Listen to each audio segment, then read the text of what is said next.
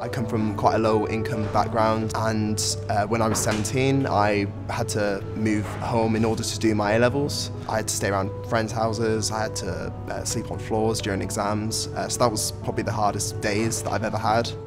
Every week was, you know, an unknown uh, if I'd be able to, you know, if I had to move out again. During that time, uh, I was quite unhealthy as well. I was obese as a teen and uh, I knew I wanted to fall in love with the sport when I got to uni. So I always loved cooking. Leeds Food Science was the top in the UK and I did manage to get two A stars and three A's at A-level. I'm first in my family to do A-levels, uh, yet alone get a degree in university. I'm predicted a first uh, this year and I'm also going into a PhD in August. When I applied uh, for my scholarship, I did eventually get accepted, which was absolutely amazing. The first thing I did with that was buy a gym uh, membership here at The Edge.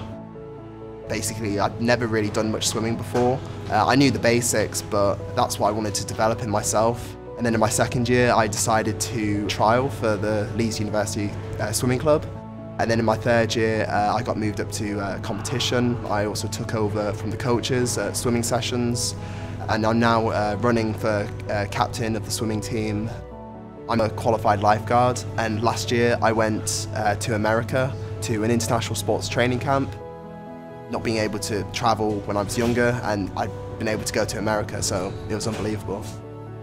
One thing I noticed which surprised me a lot about Leeds, uh, especially the university, is just how much support there is uh, for people who potentially might not settle down into such an environment and it was just warm and welcoming. You've given me something really special. It's completely changed my life.